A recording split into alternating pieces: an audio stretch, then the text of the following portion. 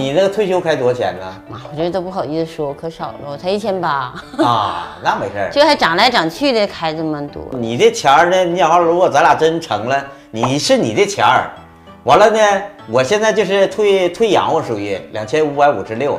等我退休呢，我还能给你俩钱花。完了，等正式退休得二四年四月份，二四年的四月份，那咋地得开七千块钱呢？能开那些钱呢？优质大哥来相亲，不仅有钱有闲有存款，人品更是没得挑。大姐对他更是赞不绝口。本以为成功牵手，结果竟然来了个大反转。郭大哥今年五十八岁，目前处于退养状态，每月工资两千五百五十六元，有房。那我跟你没法比呀，我这是开太少了。他毕竟条件还行，还可以，人也挺好的，还不抽烟，是不是啊？大哥这牙如同天上的繁星，色泽鲜艳，相距甚远，多少有些磕碜。可一听退休金能到七千多，瞬间感觉帅气了不少。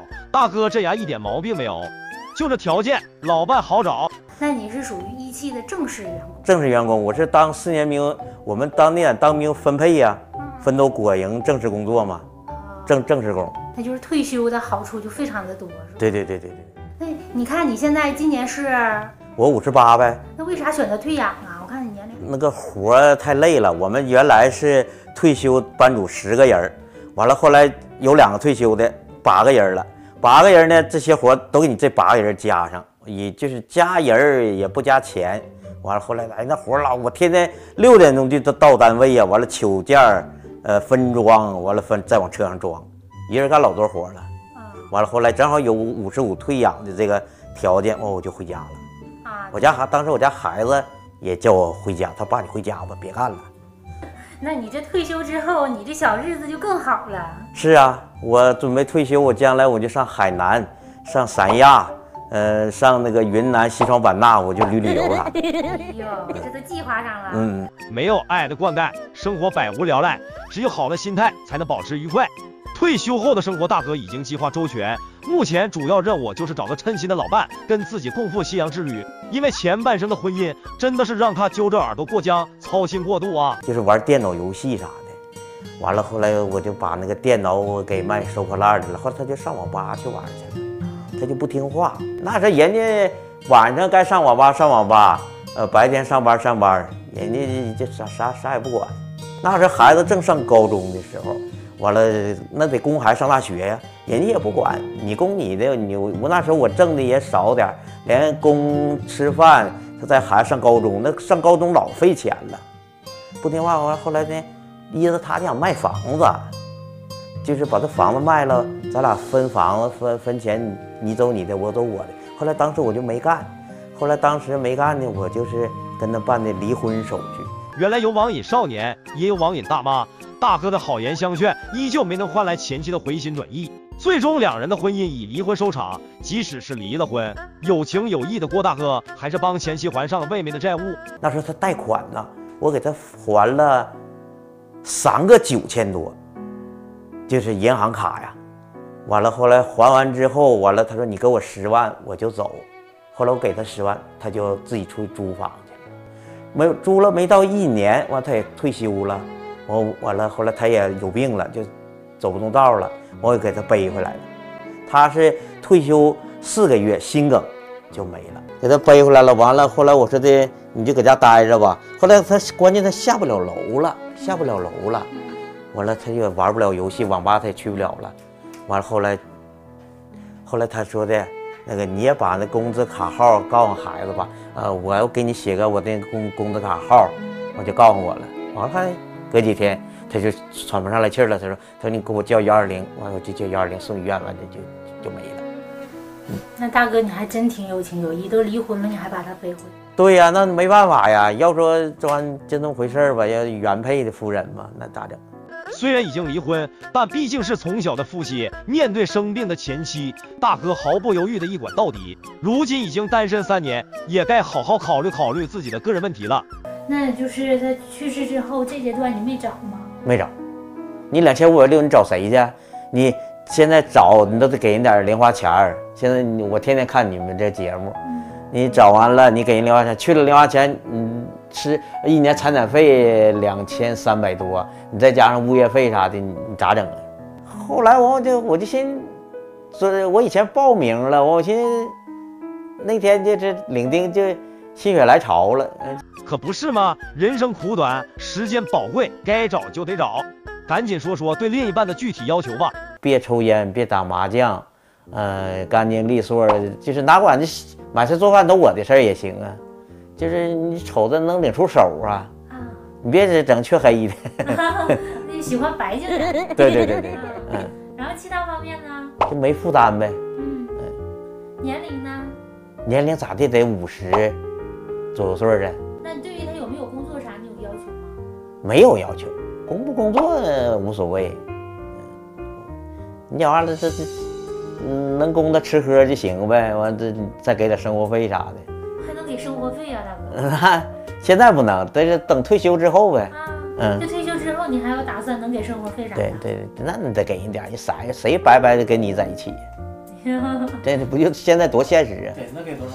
那两千以里呗。行啊，大哥。嗯，天上好，云已散，夕阳正把黄昏恋。退了休，上了岸，人生旅途又一站。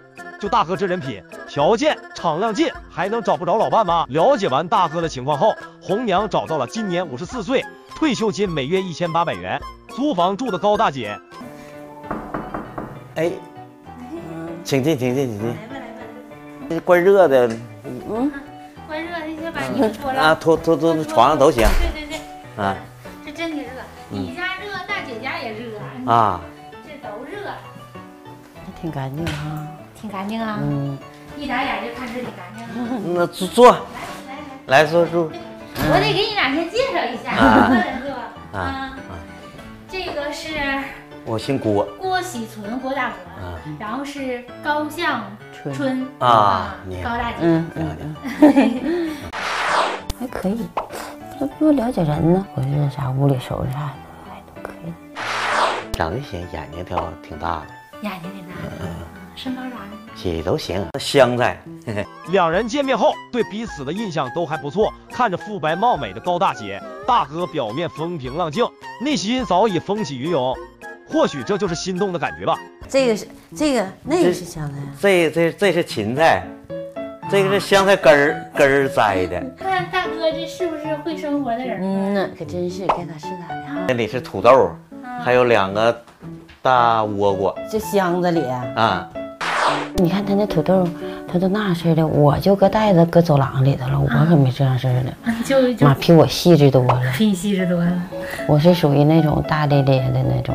当兵的啊，嗯，此时的郭大哥就像围着火炉吃西瓜，身上暖烘烘，心里美滋滋。通过深入的了解，大姐对大哥的好感度也不断的增加，尤其是了解到大哥当过兵，心里更是满意。当四年兵，啊，搁哪儿当兵呢？搁辽宁凤城啊，我二哥搁鞍山啊，空军地勤。空军后勤，我们是我我我是空军后勤。他俩那你们就一个兵种差不多是吧？，对，坐那有凳子嗯嗯啊嗯那大哥把水果这家都摆上啊了。！我一般我不抽烟，我也不喝酒，我愿意吃水果。要平时时我也愿意吃。嗯，啊，你不抽烟也不喝酒，嗯，我又不打麻将。嗯嗯咋样？嗯，都是优点。都是优点。男的当当过兵就受过一定锻炼，是吧？各方面应该都挺好的。反正不抽烟、不喝酒、不打麻将，还都挺好的。如此和谐的相亲场面还真不常见。就在红娘以为能促成良缘提早收工的时候，大哥突然提到的一个问题，让相亲气氛紧绷了起来。去年就住院了，呃，得脑出血了，轻微的。你啊嗯啊，嗯，但咱这咱得说呀，我这这咱你现在有没有啥后遗症啊？现在没啥，看他现在状态还行，走道啥的哈，我没洗手啊。走两步我看看。啊，脑出血我是，他不是血栓，大姐是不是通过这走两步能看出啥？啊，不是我我我整那是混了跟血栓，我以为是血栓那个症状，就是后遗症那个。啊，看着大哥恢复的还算不错，大姐悬着的心终于放下了。毕竟这么招人稀罕的老头不好找，这算啥呀？大哥招人稀罕的地方可多着呢，不信你继续听大哥跟你唠。你那个退休开多少钱呢？妈，我这都不好意思说，可少了，我才一千八，啊，那没事儿。这还涨来涨去的，开这么多。你这钱儿呢？你要如果咱俩真成了，你是你的钱儿，完了呢，我现在就是退退养，我属于两千五百五十六。等我退休呢，我还能给你俩钱花。完了，等正式退休得二十四年四月份，二四年的四月份，那咋的也得开七千块钱呢？能开那些钱呢？嗯，那我跟你没法比呀，我这是开太少了。惊不惊喜，意不意外？听完大哥的一番肺腑之言后，大姐更是屎壳郎掉糖螺丝里，美的呲瞪呲瞪的。看来真是捡到宝了。